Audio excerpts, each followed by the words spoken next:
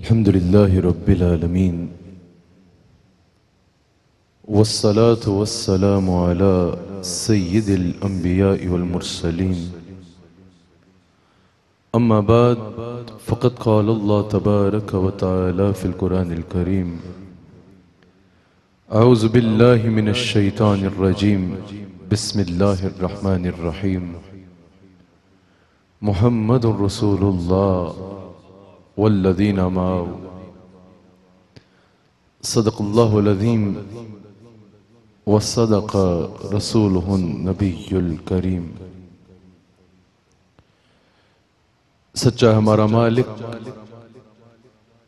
اور سچا ہے ہمارا خالق۔ کہ سوا اس واحد و یکتا کے کوئی عبادت کے لائق نہیں۔ اور سچے ہیں اس کے پیارے حبیب۔ آپ کے اور میرے آقا و مولا،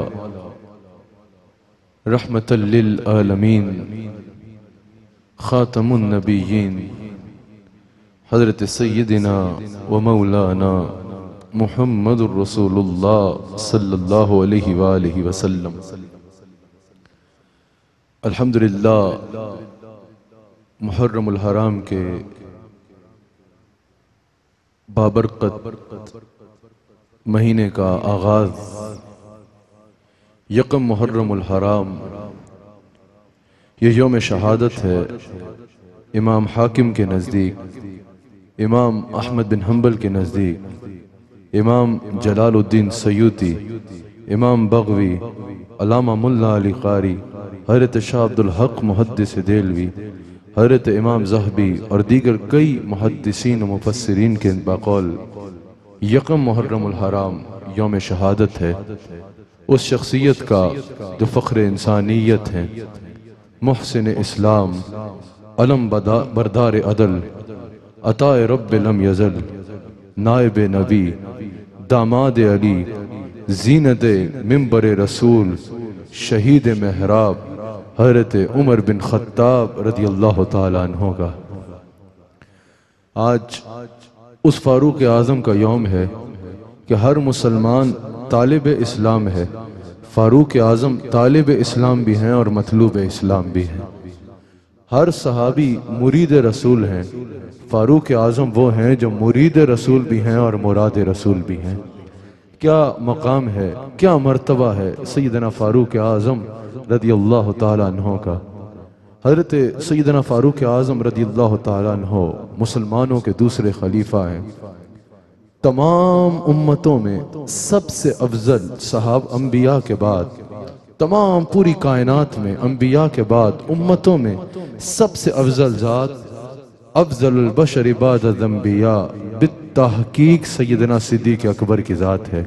اور اس کے بعد، انبیاء کے بعد پوری امتوں میں سب سے افضل صدیق اکبر ہیں۔ اور اس کے بعد جو سب سے افضل ہیں ان کا نام حضرت عمر بن خطاب رضی اللہ تعالیٰ عنہ ہے۔ اہل سنت کا یہی عقیدہ ہے کہ الحمدللہ جو خلافت کی ترتیب ہے، وہی افضلیت کی ترتیب ہے۔ تو تمام امتوں میں حضرت صدیق اکبر کے بعد جو سب سے افضل ہیں وہ سیدنا فاروق اعظم رضی اللہ تعالیٰ عنہ کی ذات ہے۔ آپ کی بے شمار خدمات دین ہیں۔ حضور علیہ السلام کی آپ کے ساتھ اور آپ کی حضور علیہ السلام کے ساتھ بے حد محبت ہے۔ حضور علیہ السلام کی کئی احادیث آپ کی عظمت اور آپ کی شان کی طرف اشارہ کرتی ہیں، جو آج آپ کے یوم میں ویکیو ٹی وی کی سجائی گئی۔ اس بزم میں میں نے آپ کے آگے انشاءاللہ بیان بھی کرنی ہے۔ سب سے پہلے اگر آغاز ہی دیکھا جائے نا، آپ کا ایمان لانے کا واقعہ ہی بڑا ایمان افروز ہے۔ حضرت سیدنا فاروق اعظم رضی اللہ تعالیٰ عنہ فرماتے ہیں، امام کرتبی نے بھی اس کو نقل کیا، رول مانی میں امام علوسی بھی نقل کرتے ہیں، امام فخر الدین رازی نے قبیر میں اس کو رقم کیا اور امام جلال الدین سیوتی رحمہ اللہ نے بھی اس کو نقل کیا۔ فاروق اعظم کہتے ہیں کہ ایک رات کو میں حضور علیہ السلام کے تعقب میں نکلا، حضور کی تلاش کی، پھر حضور علیہ السلام کا تعقب کیا، حضور کے پیچھے گیا کہ حضور کہاں جاتے ہیں۔ میں نے دیکھا کہ رات کے وقت حضور علیہ السلام مطاف میں بیٹھے ہیں اور قرآن کی سورہ حاقہ کی تلاوت فرما رہے ہیں۔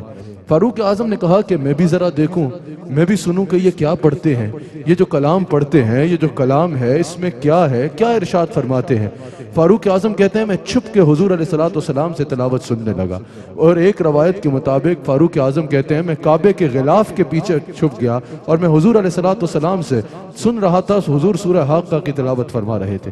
فاروق اعظم کہتے ہیں کہ اس میں اتنی تاثیر تھی، اس میں اتنی مضبوطی تھی، اس میں ایسا تسلسل تھا اور اس میں اتنی خوبصورت باتیں تھی اور اتنی مضبوط باتیں تھی کہ میرا دل اس کی طرف مائل ہونا شروع ہو گیا۔ فاروق اعظم کہتے ہیں کہ اس میں اتنا خوبصورت کلام تھا، ایسا تسلسل تھا۔ ایسا کلام تھا کہ میں نے کہا، یار، یہ تو بہت بڑے شاعر ہیں۔ میں نے اہل عرب سے سن بھی رکھا تھا کہ یہ بہت بڑے شاعر ہیں۔ یہ جو کلام پڑھتے ہیں، وہ شاعر ہیں اور کسی بڑے شاعر کا کلام ہے، یہ بہت بڑے شاعر ہیں۔ فاروق اعظم کہتے ہیں کہ ابھی میرے دل میں یہ آیا ہی کہ یہ بہت بڑے شاعر ہیں کہ حضور علیہ السلام جس عمومی آواز میں تلاوت فرما رہے تھے، اس عمومی آواز سے ذرا اونچا حضور علیہ السلام نے فرمایا، وما ہوا بقول شاعر یہ کسی شاعر کا کلام نہیں ہے۔ قلیل الما تؤمنون، بہت تھوڑے لوگ ہیں جو اس پہ ایمان لاتے ہیں۔ کہتے ہیں، میں آغوش حیرت میں مبتلا ہو گیا۔ ابھی میرے دل میں یہ خیال ہی آیا کہ یہ کسی شاعر کا کلام ہے۔ اور حضور علیہ السلام نے ایک دم اونچی آواز میں سورہ حاقہ کی آیت تلاوت فرمائی، وما ہوا بقول شاعر، یہ کسی شاعر کا کلام نہیں ہے۔ کہا میں حیران ہو گیا کہ یہ کیسے ہوا۔ ابھی میرے دل میں خیال آیا اور انہوں نے اس کا جواب دے دیا۔ کہا کہ ابھی میرے دل میں یہ خیال آیا تو پھر مجھے یاد آیا کہ مجھے لوگوں نے بتایا تھا کہ یہ تو بہت بڑے معاذ اللہ جادوگر ہیں۔ ان کے پاس تو ایسا جادو ہے کہ جو یہ کرتے ہیں تو اگلا ان کا ہو کے رہ جاتا ہے۔ اس نے کہا اچھا اچھا۔ اس کا مطلب فاروق اعظم نے کہا کہ شاید وہ عرب ٹھیک کہتے تھے۔ یہ بہت بڑے شاعر کے ساتھ ساتھ، معاذ اللہ، بہت بڑے جادوگر بھی ہیں۔ کہ میرے دل میں یہ خیال آیا تو انہوں نے جان لیا کہ ایک بندہ یہاں موجود ہے جو مجھے سن رہا ہے اور اس کے دل میں یہ آیا ہے کہ یہ شاعر ہیں۔ وہ کہتے ہیں، ابھی میرے دل میں یہ خیال ہی آیا کہ اس کا مطلب یہ ساتھ ساتھ بہت بڑے جادوگر بھی ہیں۔ فاروق اعظم کہتے ہیں، حضور نے سورہ حاقہ کی اگلی آیت تلاوت فرما دی اور وہ بھی عمومی آواز سے اونچا فرمایا، وَلَا بِقَوْلِ قَاهِن، قَلِيلًا مَا تَذَكَّرُونَ۔ اور یہ کسی جادوگر کا کلام بھی نہیں ہے۔ بہت تھوڑے ہیں جو اس کو سمجھ پاتے ہیں۔ بہت تھوڑے ہیں جو اس کو سمجھتے ہیں۔ کہا میں حیران ہو گیا کہ پہلے میں میرے دل میں آیا، یہ شاعر کا کلام ہے۔ حضور نے فرمایا وما بقول شاعر، یہ شاعر کا کلام نہیں ہے۔ پھر میرے دل میں آیا کہ یہ جادوگر ہے۔ حضور نے فرمایا، ولا بقول قاہل یہ کسی جادوگر کا کلام بھی نہیں ہے۔ کہتے ہیں کہ پھر میرے دل میں آیا، یہ ہے کیا؟ حضور نے فرمایا، حضور نے حضرت فاروق اعظم کہتے ہیں، حضور نے اس کا جواب بھی اگلی آیت سے اونچا فرما دیا۔ تنزیل میں رب العالمین، یہ تو اللہ تعالیٰ کی طرف سے نازل کیا گیا ہے۔ کہا، اس دن میں بڑا حیران ہو گیا۔ میں آغوش حیرت میں مبتلا ہو گیا۔ اور کہا، اس دن سے سے نا میرا دل حضور کی طرف مائل ہونا شروع ہو گیا۔ کہتے ہیں کافی دن میں بے چین رہا۔ کبھی سابقہ عداوت دل پہ غلبہ کر لیتی، کبھی حضور علیہ السلام کی دشمنی کے جذبات آ جاتے، اور کبھی جو ہے وہ حضور علیہ السلام کی طرف دل مائل ہوتا کہ یار اس دن کیا خوبصورت کلام تھا، اس دن کیا ہی خوبصورت آواز تھی، کیا ہی خوبصورت انداز تھا۔ اس دن کی طرح میرا خیال جاتا اور دل حضور علیہ السلام کی طرف مائل ہونے لگتا۔ فاروق اعظم کہتے ہیں کہ پھر میرے اوپر پریشر بھی تھا، کفار مکہ کا، کیونکہ فاروق اعظم کے جرت و بہادری کے چرچے تھے۔ فاروق اعظم کی ضرب کے چرچے تھے۔ فاروق اعظم کے بارے میں یہ مشہور تھا کہ ان کی تلوار کے آگے کبھی کوئی ٹھہر نہیں سکا۔ تو کفار مکہ کہتے تھے کہ عمر، تم جاؤ مسلمانوں کے نبی پہ حملہ کرو اور ان کا کام مسلمانوں کا تمام کر دو۔ فاروق اعظم کہتے ہیں، ان کی طرف سے بھی پریشر تھا اور میں بھی بے چینی میں تھا۔ کبھی یہ کیفیت، کبھی وہ کیفیت۔ ایک دن فاروق اعظم اٹھے اور کہا، آج میں ارادہ کرتا ہوں، ایک تو یہ بے چینی بھی ختم ہو اور ایک تو میرے باپ دادا کا دین یہاں ختم ہوتا چلا جا رہا ہے۔ لوگ ان کے ساتھ جڑتے چلے جا رہے ہیں۔ اور دوسرا سرداران قریش کا، کفار مکہ کا پریشر بھی تھا کہ عمر جا کے ان پر حملہ کرو۔ فاروق اعظم نے کہا، آج ان تینوں ساری چیزوں کا حل کرتے ہیں۔ آج میں جاتا ہوں اور مسلمانوں کے نبی پہ حملہ کرتا ہوں اور مسلمانوں کا کام تمام کر دیتا ہوں۔ فاروق اعظم اٹھتے ہیں اور تلوار تیز کر رہے ہیں کہ آج میں نے رسول اللہ علیہ السلام پہ حملہ کرنا ہے۔ یہاں فاروق اعظم تلوار تیز کر رہے ہیں۔ وہاں رسول اللہ صلی اللہ علیہ وآلہ وسلم دعا فرما رہے ہیں۔ حضور علیہ السلام دعا فرما رہے ہیں۔ ترمزی کی حدیث ہے۔ ہے۔ حضور نے دعا کی، یا اللہ، عمر بن حشام یعنی ابو جہل بن حشام یا عمر بن خطاب کے، جو تجھے ان دونوں میں سے پسند آئے، اس کے ذریعے اسلام کو عزت عطا فرما دے۔ وہاں فاروق اعظم تلوار تیز کر رہے ہیں کہ آج میں نے رسول اللہ پر حملہ کرنا ہے۔ اور یہاں رسول اللہ صلی اللہ علیہ وسلم دعا فرما رہے ہیں۔ یا اللہ، عمر بن خطاب یا عمر بن حشام میں سے جو تجھے پسند آئے، اس کے ذریعے اسلام کو عزت عطا کر دے۔ فاروق اعظم تلوار بے نیام لیے گھر سے نکلتے ہیں۔ کسی نے پوچھا، عمر کہاں کے تیور ہیں؟ کہاں جا رہے ہو؟ تلوار ہاتھ میں ہے، تیز قدم ہے، کہاں جا رہے ہو؟ کہا، آج بس میں نے سوچ لیا ہے۔ میں مسلمانوں کے نبی پہ حملہ کروں گا اور ان مسلمانوں کا کام تمام کر دوں گا۔ کہ اسی نے کہا، اس نے کہا کہ عمر، مسلمانوں کے نبی کے پاس بعد میں جانا، پہلے اپنے گھر کی خبر لو، تمہاری بہنوئی، تمہارا بہنوئی بھی مسلمان ہو گیا ہے اور تمہاری بہن بھی مسلمان ہو گئی ہے۔ فاروق اعظم کا غصہ بڑھ گیا۔ فاروق اعظم تیز قدموں کے ساتھ غصے سے اپنے بہن کے گھر جاتے ہیں۔ دروازے پہ گئے تو اندر سے سورہ تاہا کی تلاوت کی آواز آ رہی تھی۔ غصے سے دروازہ کھولا۔ دیکھا کہ فاروق اعظم کی ہمشیرہ اور بہنوئی قرآن کی تلاوت کر رہے ہیں۔ فاروق اعظم نے کہا، بہن سے، کیا جو میں نے سنا وہ صحیح ہے؟ کیا وہ سچ ہے؟ کیا واقعہ تن تم اپنے باپ دادا کا دین چھوڑ کے مسلمان ہو گئی ہو؟ اس نے کہا، الحمدللہ میں مسلمان ہو گئی ہوں۔ بہنوئی نے بھی کہا، الحمدللہ میں محمد رسول اللہ صلی اللہ علیہ وسلم کا غلام بن چکا ہوں۔ حضرت فاروق اعظم نے خوب مارا اپنی بہن کو اور خوب لگائیں اپنے بہنوئی کو۔ آپ کا جلال تو سب کو پتا ہے۔ جب مار مار کے فاروق اعظم تھک گئے نا، فاروق اعظم رکے۔ بہن سے پوچھا کہ، اب بھی تو ان کے ساتھ ان کی غلامی میں رہے گی، اپنے باپ دادا کے دین پہ واپس آئے گی یا نہیں آئے گی؟ بہن نے کہا، عمر، اگر تو خطاب کا بیٹا ہے تو میں خطاب کی بیٹی ہوں۔ سن لے، جان جاتی ہے تو چلی جائے گی۔ دامن مصطفیٰ اب میں نے نہیں چھوڑنا۔ فاروق اعظم نے اور مارا۔ فاروق اعظم نے جب مار مار کے تھک گئے اور ان کی زبان سے ایک ہی آواز آتی تھی، عمر، آج جسم کے ٹکڑے بھی کر لو تو محمد رسول اللہ کو ہم نہیں چھوڑنے والے۔ عمر خطاب رکے۔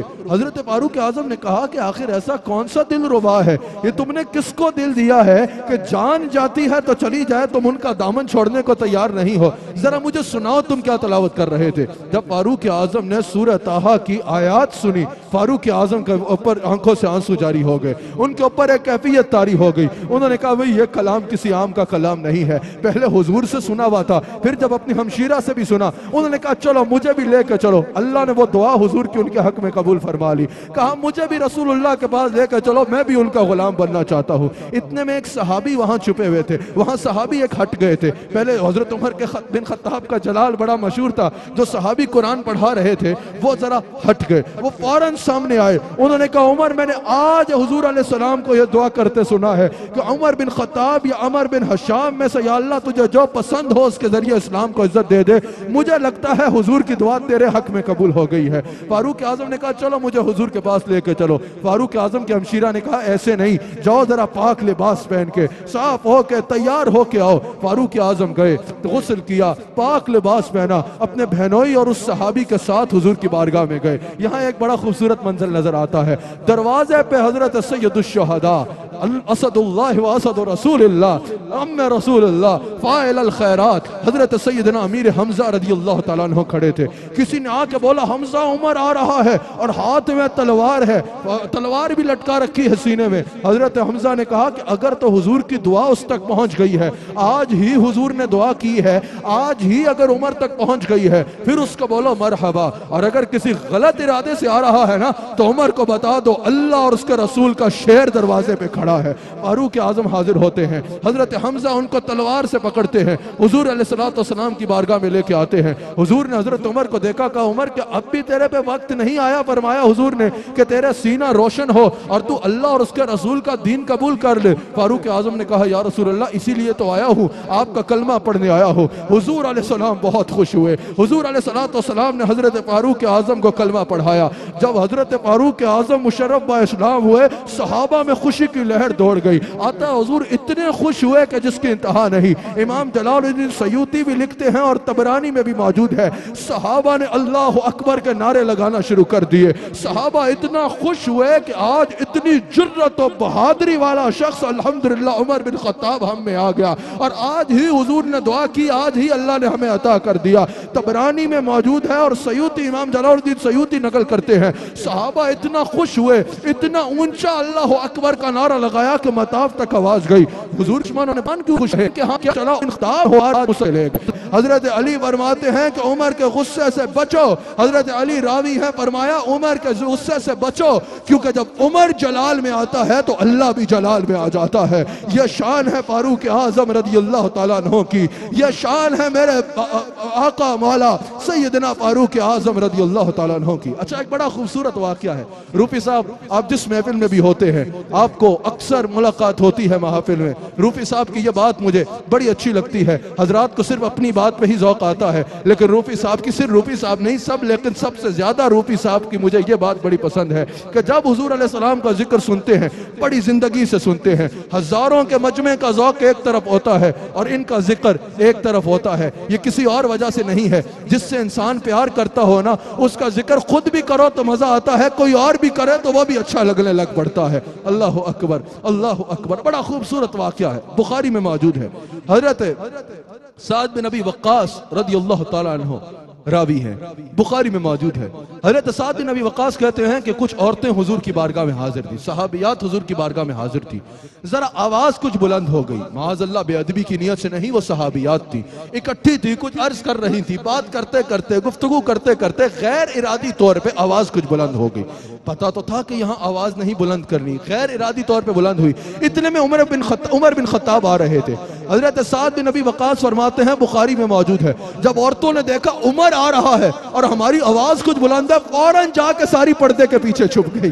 حضور علیہ السلام مسکرانا شروع ہو گئے۔ یہ بخاری میں موجود ہے۔ اور حضرت عمر بن خطاب آئے تو عورتوں کو ڈانٹنا شروع کر دیا۔ تم حضور کی بارگاہ میں حاضر ہو اور آواز اونچی کر رہے ہو۔ اس بارگاہ میں آواز اونچی نہیں کرتے۔ بخاری میں موجود ہے۔ حضور مسکرائے۔ حضور نے فرمایا، ان کو چھوڑو، عمر، ادھر آؤ، میں تمہیں بتاتا ہوں، اللہ تم سے کتنا پیار کرتا ہے۔ تمہیں اللہ نے کیا مقام دیا ہے؟ حضور نے فرمایا، عمر، اللہ نے تمہیں یہ مرتبہ دیا ہے۔ ہے کہ تم جس رستے سے گزرتے ہو، شیطان وہ رستہ چھوڑ کے بھاگ جاتا ہے۔ اچھا یہاں پر میرا ایک مزاج ہے، وہ سماعت کر لے، پسند آئے تو قبول کر لیجیے گا، لیکن یہ تقابل نہیں ہے۔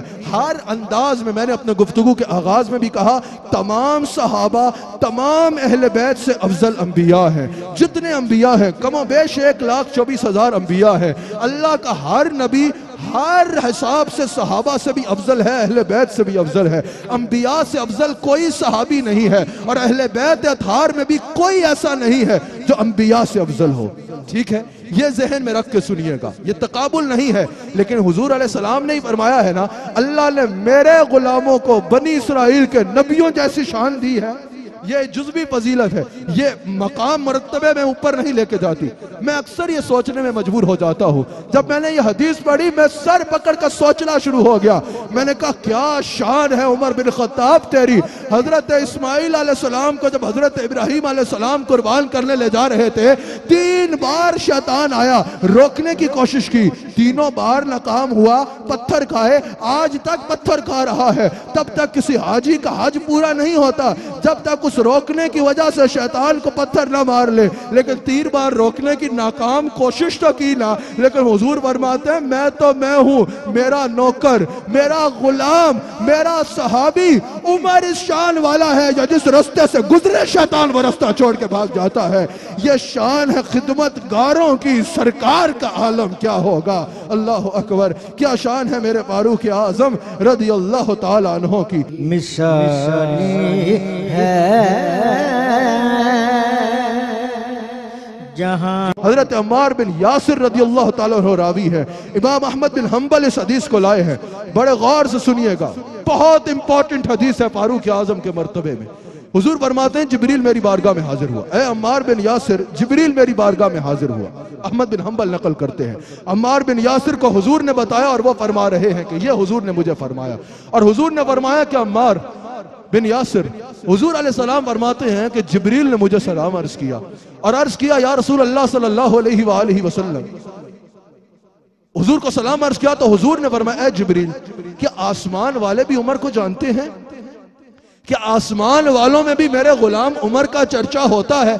جبریل امین نے عرض کی، یا رسول اللہ، بالکل آسمان پہ بھی عمر کے فضائل بیان کیے جاتے ہیں۔ حضور نے فرمایا جبریل، آسمان والے عمر کے بارے میں کیا کہتے ہیں؟ سننا۔ احمد بن حنبل نقل کر رہے ہیں حدیث کو۔ عمار بن یاسر راوی ہیں۔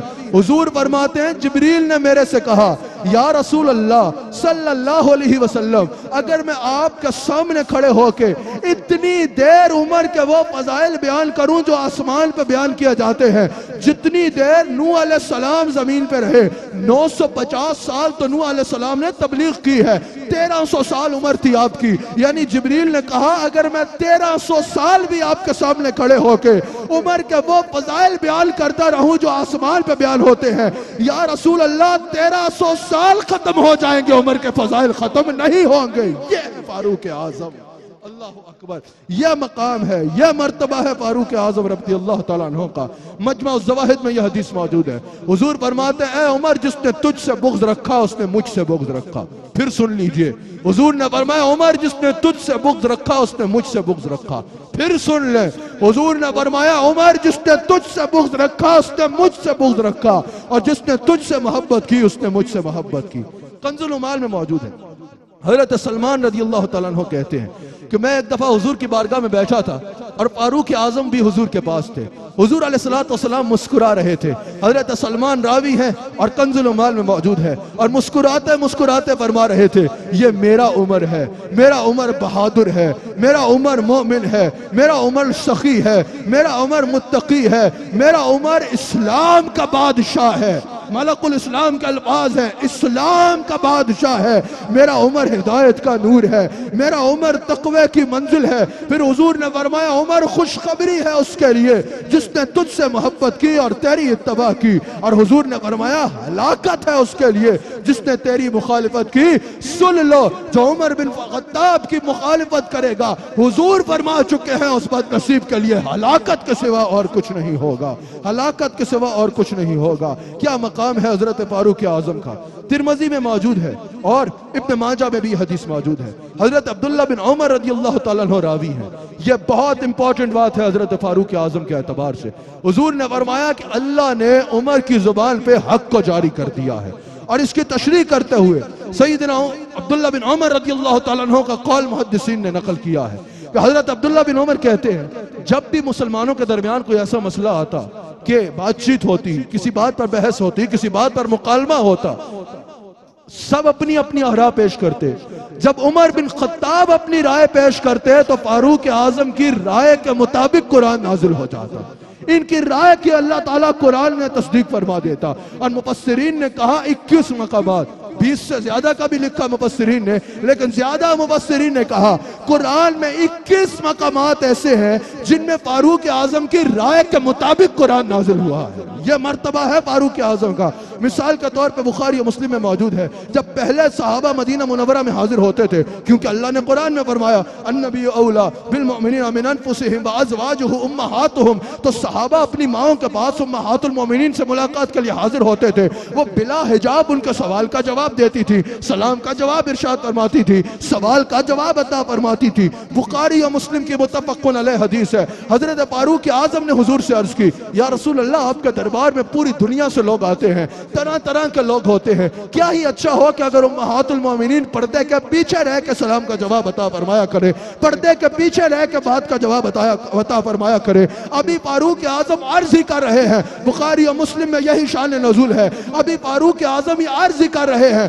فوراً جبریل حاضر ہوتے ہیں۔ اور قرآن کی آیت لے کے قرآن نازل ہو جاتا ہے۔ اللہ نے قرآن میں پردوں کا حکم فرما دیا کہ اے میرے حبیب علیہ السلام، فرما دیجیے اپنی ازواج سے، اپنی بے شہزادیوں سے اور مومنین کی عورتوں سے کہ ڈال لیا کریں اپنے اوپر چادریں جب گھڑوں سے باہر جاتی ہیں۔ یہ حکم بھی فاروق اعظم کی خواہش کے مطابق آیا ہے۔ بخاری و مسلم کے مطابق علیہ حدیث ہے۔ یہی شان نزول بخاری میں بھی ہے اور مسلم میں بھی ہے کہ پہلے جب بھی نماز کا وقت آتا، مطاف میں جدھر بھی حضور بیٹھے ہوتے، وہی مسلح بچا لیا جاتا اور وہیں پہ حضور جماعت فرمایا کرتے۔ فاروق اعظم نے عرض کی، بخاری و مسلم میں موجود ہے۔ یا رسول اللہ، کیا ہی اچھا ہو کہ جگہ جگہ کے بجائے مقام ابراہیم کو آپ کا مستقل مسلح بنا دیا جائے۔ ابھی فاروق اعظم نے عرض ہی کی کہ قرآن نازل ہو گیا۔ اے میرے حبیب علیہ السلام، سورہ بقرہ کی آیت نمبر 125 اے میرے حبیب علیہ السلام، مقام ابراہیم کا اپنا مسلح بنا لیجیے۔ شراب پہلے مسلمانوں پہ حرام نہیں تھی۔ امام حاکم نقل کرتے ہیں۔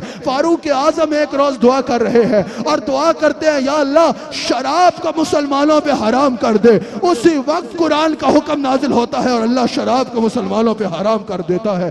اللہ اکبر۔ جب یہودی اور مسلمان کا ایک بات پہ تنازع ہوا، حضور نے مسلمان کے بجائے منافق تھا وہ یہودی کے حق میں فیصلہ فرما دیا۔ جب وہ مسئلہ فاروق اعظم کے آگے پیش ہوا، فاروق اعظم نے جو معاملہ فرمایا، جب اس میں فاروق اعظم کے خلاف بات ہونا شروع ہو گئی، اللہ تعالیٰ نے بلا و ربکا لا یؤمنون حتی یحقموک فیما شجر بینہم، فرما کے فاروق اعظم کی بات کی تصدیق کر دی۔ فاروق اعظم کی بات کی تصدیق میں قرآن نازل کر دیا۔ اللہ اکبر۔ جب صحابہ بدر جا جب حضور بدر جا رہے تھے، بدر سے پہلے جب رک کے حضور نے صحابہ سے مشورہ فرمایا کہ جایا جائے، کیونکہ جنگ کی تیاری سے واپس آئے، واپس جنگ کی تیاری سے نہیں آئے۔ جایا جائے یا مدینہ شریف جایا جائے۔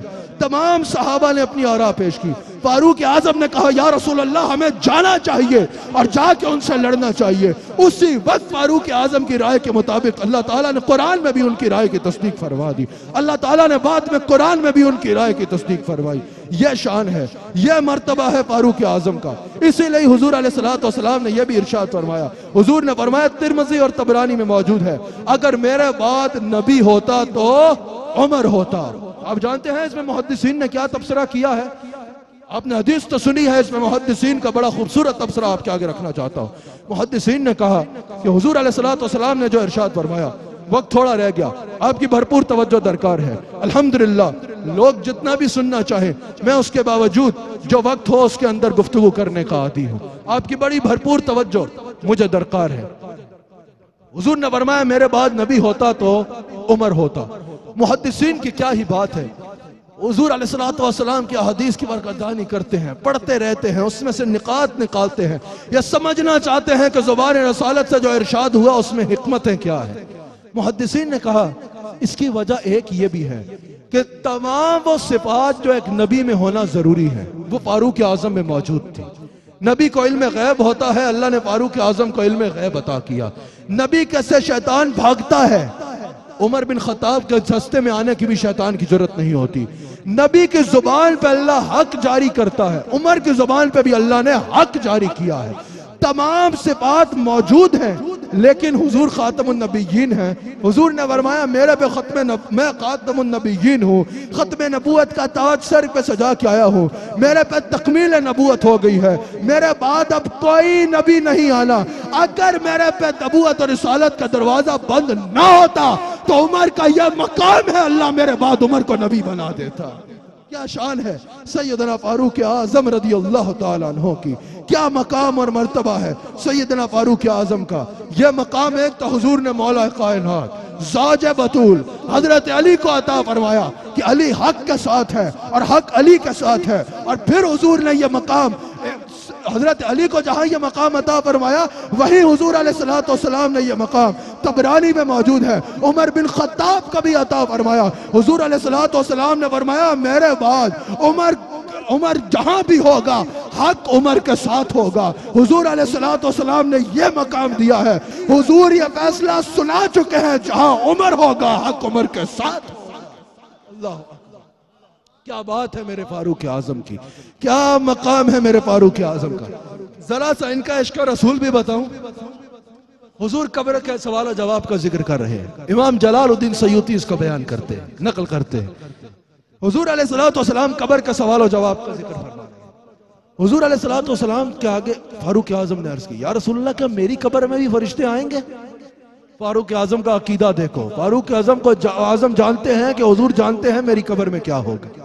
حضور نے فرمایا، عمر، انہیں تو سب کی قبر میں آنا ہے۔ کہا، سرکار، یہ بتائیں، جب وہ میری قبر میں آئیں گے تو کیا ہوگا؟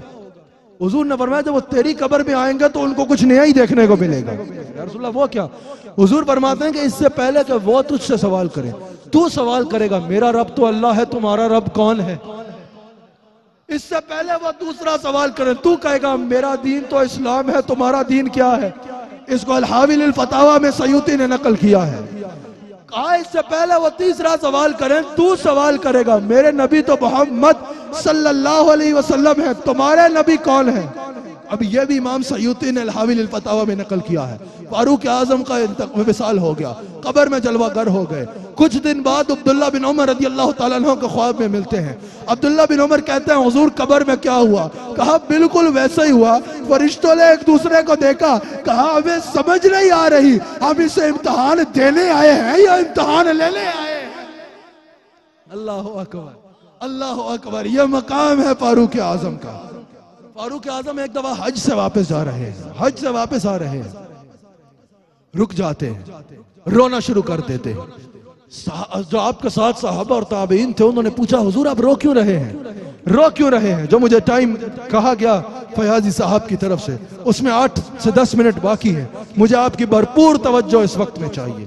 اللہ اکبر۔ حضور علیہ السلام کے غلام صادق فاروق اعظم رو پڑے۔ کہا، حضور، آپ یہاں پر رو کیوں رہے ہیں؟ اس مقام پر رک کے۔ فاروق اعظم نے کہا، میرا بچپن یہاں گزرا۔ میرے باپ کے چند اونٹ تھے اور میرے سے اپنے باپ کے اونٹ سنبھالے نہیں جاتے تھے۔ میرا باپ مجھے مارتا تھا۔ ایک روایت کے مطابق بیس اونٹ تھے۔ میرا باپ مجھے مارتا تھا۔ عمر، تم کیسے بچے ہو؟ تم سے بیس اونٹ نہیں سنبھالے جاتے۔ کہا، آج یہی وہ عمر ہے جو رسول اللہ کا غلام ہوا اور آدھی دنیا پہ ہزاروں مربع میل پہ حکومت کر رہا ہے۔ یہ نسبت مصطفیٰ کی برکت ہے۔ یہ نسبت مصطفیٰ کی برکت ہے۔ فاروق اعظم کے دور میں مدینہ شریف میں زلزلہ آئے تو زمین پہ پیر مار کے کہتے ہیں، کیا میں تم پہ انصاف نہیں کر رہا؟ اگر کر رہا ہوں تو دوبارہ زلزلہ نہ آئے۔ آج تک مدینہ شریف میں زلزلہ نہیں آیا۔ اگر دریائے نیل زیادہ بہنا دریائے نیل خشک ہو جاتا ہے، اس کو خط لکھتے ہیں، وہ جاری ہو جاتا ہے۔ خطبہ دیتے ہیں، سورج مقتدیوں کو تنگ کرتا ہے۔ خطبہ چھوڑ کے کہتے ہیں، تمہیں پتہ نہیں، عمر بن خطاب خطبہ دے رہا ہے، گہرے بادل چھا جاتے ہیں۔ یہ مرتبہ ہے فاروق اعظم کا۔ یہ مقام ہے۔ سیدنا فاروق اعظم رضی اللہ تعالیٰ عنہ کا۔ امام باقیر بھی نقل کیا۔ اللہ اکبر، امام باقی اس کو تفصیل سے نقل کرتے ہیں۔ دیگر کئی نے ذکر کیا، جن الفاظ میں میں بیان کر رہا ہوں، امام باقی نقل کرتے ہیں۔ حضرت عمر بن خطاب جمعے کا خطبہ دے رہے ہیں۔ فرماتے ہیں، یا ساریت الجبل، اے ساریہ پہاڑ کی طرف دیکھ۔ لوگ حیران کہ یہ آپ نے کیا ارشاد فرمایا۔ کچھ وقت گزرا، جب پتہ کی خبر لے کے قاصد آیا، اس نے کہا، ہمیں فتح ہو گئی، لیکن ہمیں بہت بڑی شکست ہو جاتی۔ ہمیں ایک ندا کرنے والے نے ندا دی۔ ایک آواز آئی، یا ساریت الجبل اے ساریہ جو کمانڈر ان چیف تھے، اس کو آواز آئی۔ پہاڑ کی طرف دیکھ۔ ہم نے پہاڑ کی طرف دیکھا تو وہاں سے ایک لشکر آ رہا تھا۔ ہم نے مقابلہ کر کے اس کو شکست دے دی۔ اگر ہمیں وہ نہ بتایا جاتا تو ہم این جمعے کے وقت ہمیں یہ آواز آئی تھی۔ اگر ہمیں وہ نہ بتایا جاتا تو شکست ہو جاتی۔ صحابہ اور تابعین حیران ہو گئے۔ کہا، یہ وہی وقت تھا۔ فاروق اعظم نے کہا ہاں میں جمعے کا خطبہ دیکھتے دیکھ رہا تھا۔ ساریہ کے لشکر پر وہ کافر پیچھے سے حملہ کرنے لگے۔ میں نے یہاں سے آواز دی، ساریہ نے وہاں سنا اور اللہ نے فتح دے دی۔ یہ علم غیب ہے جو اللہ تعالیٰ نے ابن عمر بن خطاب رضی اللہ تعالیٰ عنہ کو عطا فرمایا۔ آخری بات یہ ہے کہ ان کی خشیت الہی امیر المؤمنین ہے۔ زار و قطار رو رو کے کہتے ہیں، کاش عمر ایک تنکا ہوتا، پیدا ہی نہ ہوتا کہ اس کو اللہ کے حضور حاضر ہو کے جواب دینا ہونا پڑتا۔ آپ تشریف فرما ہے۔ سیدنا فاروق اعظم رضی اللہ تعالیٰ فرماتے ہیں کہ مجھے فورات کے کنارے پہ اگر بکری کا بچہ یا ایک روایت کے مطابق کتا بھی پیاسا مر گیا تو عمر بن خطاب اس کو ذمہ دار سمجھے گا، خود کو ذمہ دار سمجھے گا اس کا۔ اللہ اکبر۔ فاروق اعظم رضی اللہ تعالیٰ عنہ کا خشیت الہی ایسی تھی۔ آج قبلہ روفی صاحب کو دو کتابیں پڑھ لے، دو لوگ کسی کے ہاتھ چمنا شروع کر دیں اس کی گردن میں ایسا ذریعہ آتا ہے کہ وہ اپنے آپ کو کیا سمجھنا شروع کر دیتا ہے۔ فاروق اعظم، جن کے بارے میں حضور نے فرمایا، میرے بعد نبی ہوتا تو عمر ہوتا۔ خشیت الہی کا یہ عالم ہے، جو عشرہ مبشرہ میں شامل ہے۔ جن کی جنت میں کوئی شک کرے تو وہ ایمان سے چلا جاتا ہے۔ وہ فاروق اعظم۔ کہتے ہیں کہ اگر قیامت کے دن اللہ کی طرف سے ارشاد ہونا کہ آج ایک بندے نے جنت میں جانا ہے، باقی سب نے جہنم میں جانا ہے۔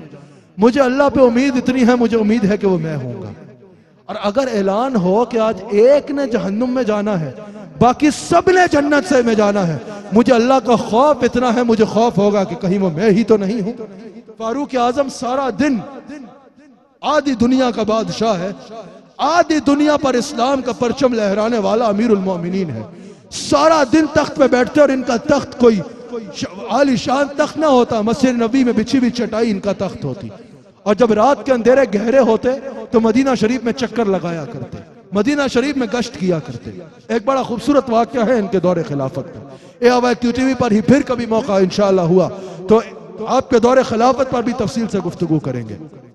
حضرت فاروق اعظم گشت کر رہے ہیں۔ چکر لگا رہے ہیں۔ اللہ اکبر۔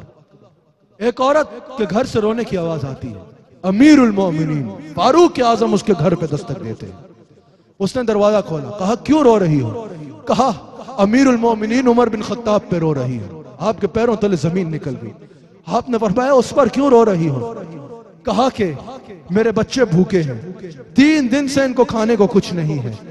ہنڈیا میں پانی میں پتھر ڈال کے رکھ دیتی ہوں تاکہ اس کی آواز سے ان کو لگے کچھ پک رہا ہے۔